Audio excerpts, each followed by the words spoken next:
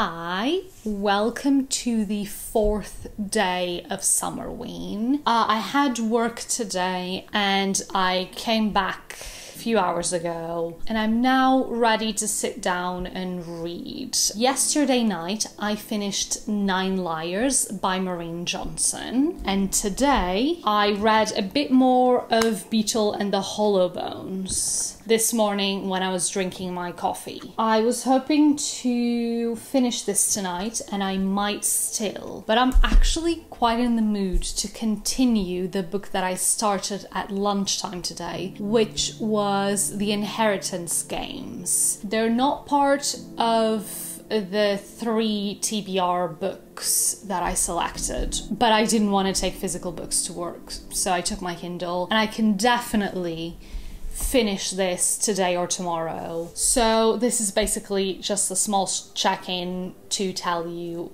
what I've read and what I pretend to read right now. But I've read what like 250 pages of The Wizard's Guide to Defensive Baking. I've read the whole of Nine Liars, which I know is more than 300 pages, plus maybe 50 pages of Beetle and the Hollowbones, plus three chapters of the inheritance game, plus nine full chapters of Daughter of the Moon Goddess. So that's what I've been listening to. I'm quite enjoying it actually. It's romantic and has this whimsical feel. I am exhausted. Just want to put myself in a little corner and read and just forget the world exists. So that's what I'm going to be doing now. But we'll see each other tomorrow morning. So yeah, see you tomorrow.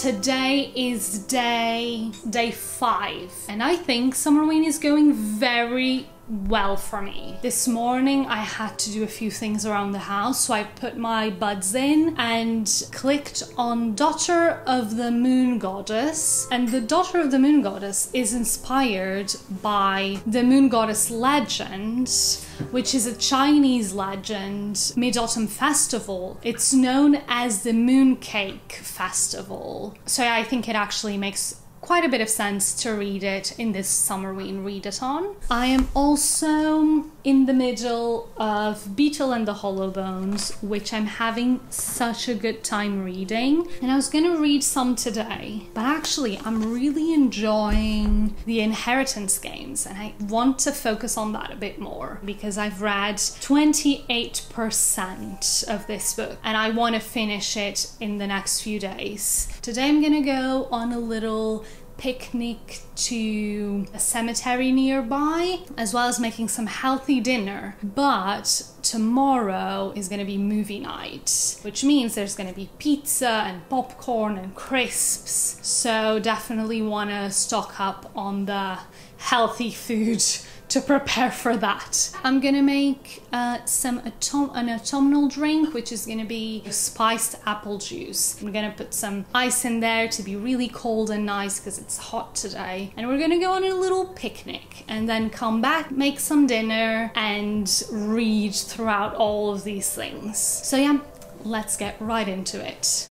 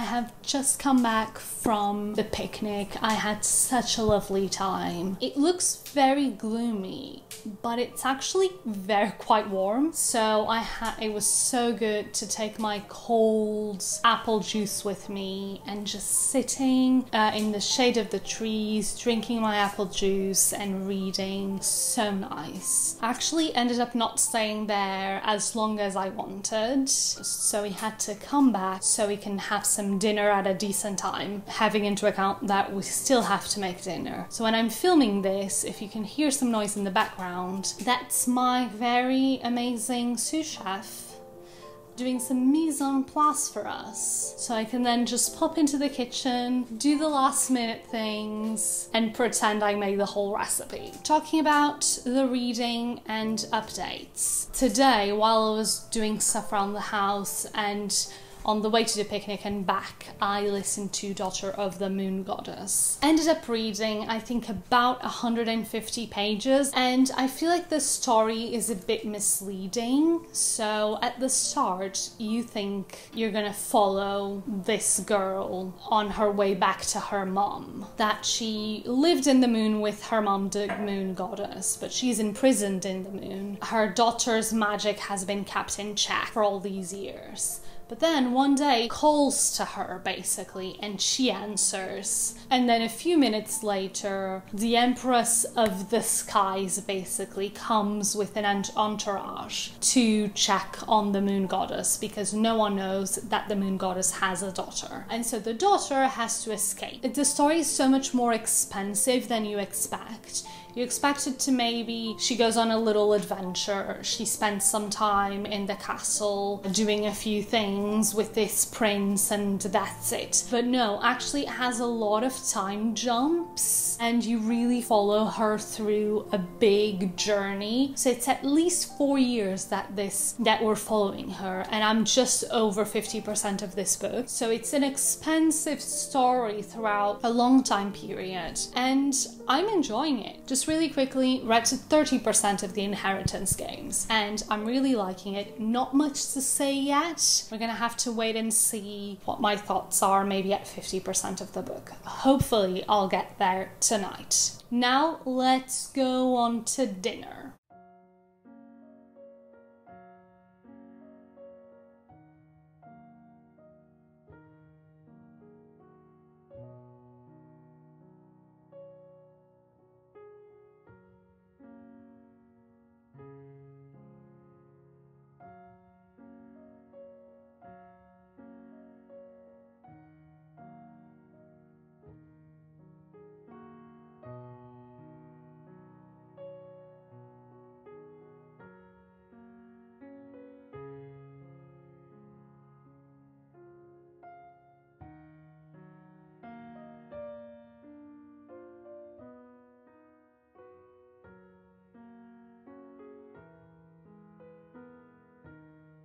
Hi, welcome to day six of Summerween. Today, unfortunately, I have a lot of stuff to do. I'm gonna put my audiobook on, The Daughter of the Moon Goddess, and then we have a very exciting evening planned. We're gonna do what I call, I think I'm not the only one that calls this a Gilmore Girls movie evening, where you kind of get popcorn and crisps and other little snacks and you get some pizza. So yeah, that's what we're to do. I am to prepare everything with you. I have I mean, it's not as if this is rocket science, but I am going to do something to the popcorns and the crisps to make them more exciting, so you'll have to wait and see. And then I do just want to watch the Gravity Falls Summerween episode and maybe any other creepier episodes they have. Those are the plans for today. I'm just going to continue my reading, obviously. We'll see each other later.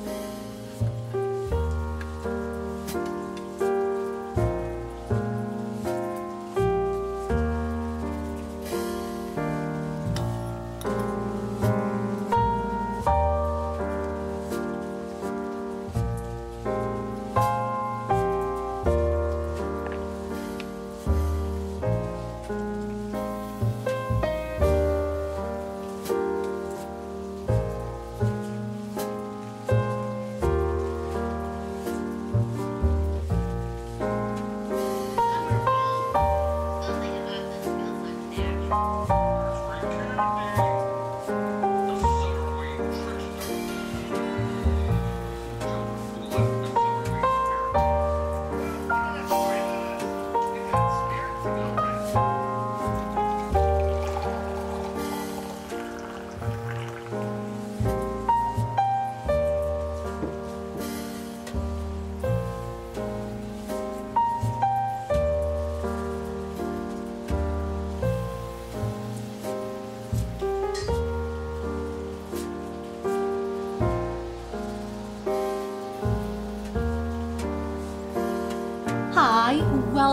the last day of summer. Hope you're excited. I'm excited and also scared. Just made some lunch, leftover rice dish from two days ago to counterbalance all of that indulgence from yesterday evening. I did obviously just finish Beetle and the Hollowbones, which I thought I would read all on Sunday. I loved it. I have to say, one of the best graphic novels I've ever read.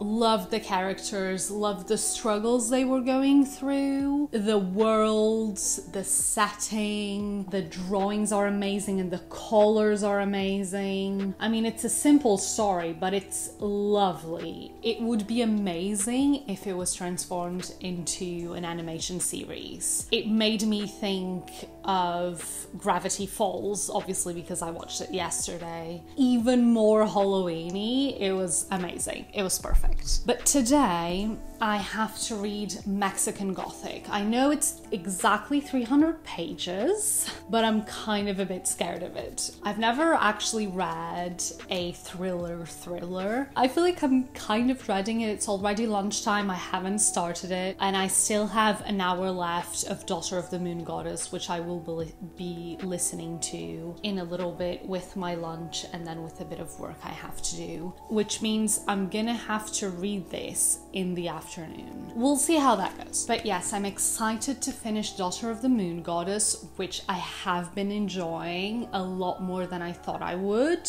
I heard a few kind of medium okay reviews and so I thought I would feel that way about the book as well. I'm actually feeling like the book is quite good. I just have to see how the end is gonna go because it could ruin it. Everyone feels so much and there's so much suffering. or they're so happy. It's too much. It's quite quite a lot. I'm hoping to see what I think at the end. I'm really enjoying the atmosphere of the book and I do like the whimsical elements. Sometimes it becomes a bit too dramatic, but in general, I'm enjoying how the story is going. I did actually also finish yesterday evening at probably around midnight, which was why I woke up late this morning. I finished The Inheritance Games, the first book, and I did actually kind of start the second book. I mean, I only read one tiny chapter. It's a good book, for sure a good book. I don't understand why it has so much hype. the boys annoy me most of the time. The main character is good. She's the only reason, plus the mystery, why I'm still interested in this book. I like the tension. But the boys themselves, I think there's only one that I actually, for now, kind of like, and that's Grayson. I think I understand him. I enjoyed it. I'm, I literally started the second one immediately after I, I finished the first. I want to continue reading it. Tomorrow, I'm gonna be going back to that book 100%. I may even not read this to continue reading that can I pass that as a thriller? We'll have to see. It was a lot more real life than I thought it would be. I thought it would be just kind of would never happen in real life kind of thing. But actually, you know, everything that she's going through, especially all the conversations with her lawyer and her bodyguard and all of these other characters that I didn't really know would be involved, feels more like something that could actually happen. I do feel like it did include those more real life elements, which made it a good book instead of just completely not realistic Sorry, I think that's all I have to update you for now. I kind of ran through everything that has happened in terms of reading in the last day or so. I am going to it might eat my lunch. I will see you later on. Hi, welcome to the last day of the vlog. Today's technically day 8 and the readathon has officially ended.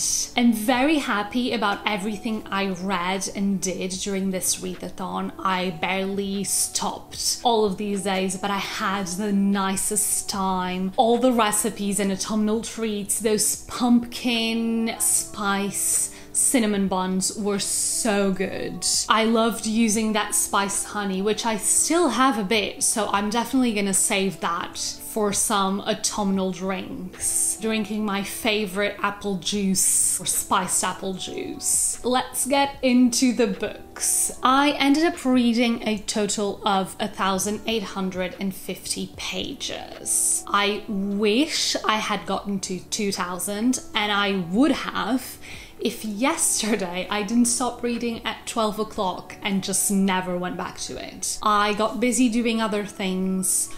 I didn't have any like audiobooks on the go because I had finished Daughter of the Moon Goddess. I didn't really do the last 12 hours of the readathon. There's nothing I can do now. It's finished. For now, I definitely want to finish the books that I didn't manage to finish, starting with continuing the Inheritance Games trilogy because I did finish the first one and I kind of started the second one, but I really want to just finish it, get it out of the way because I enjoyed it. It's not one of my favorites. It's a good story and especially the mysteries are intriguing. You want to know what's going to happen but I'm not really super invested in any of the romances, any of the characters. I just kind of want to know what's going to happen at the end of the whole trilogy. So I'm going to try and focus on that for the next few days slash weeks. But now for the reviews. And I managed to finish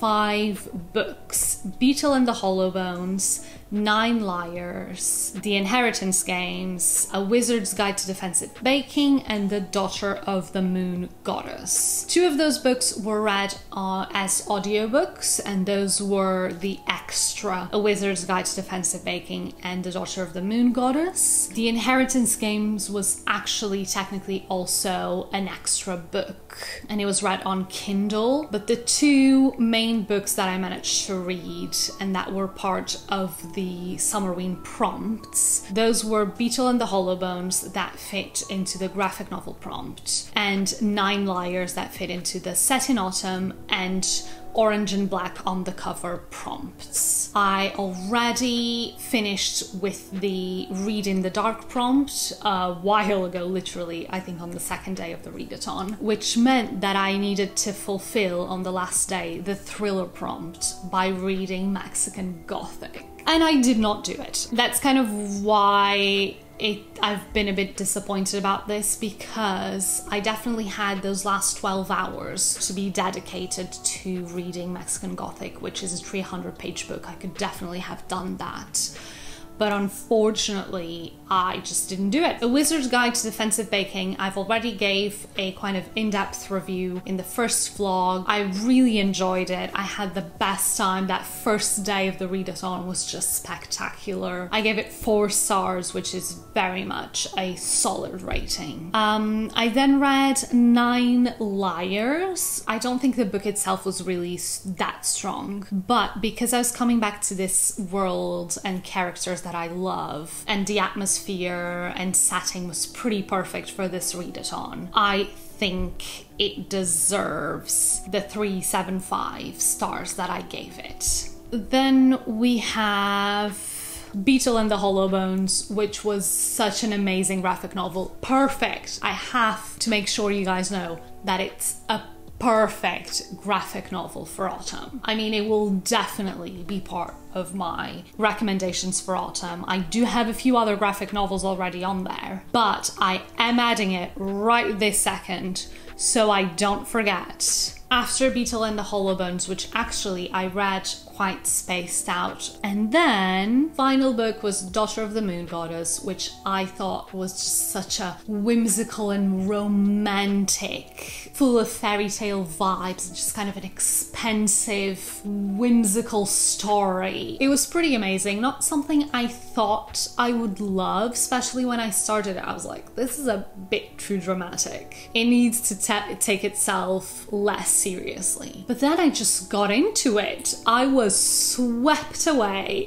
and yeah, I really enjoyed it. So I also gave it four stars. So it was definitely a very solid readathon, full of four star reads and a couple of like 375 very, very solid all around readathon. Had the best time doing all the activities and the recipes. That movie night and the pizza and the crisps and the popcorn. I kind of just want to relive it right now.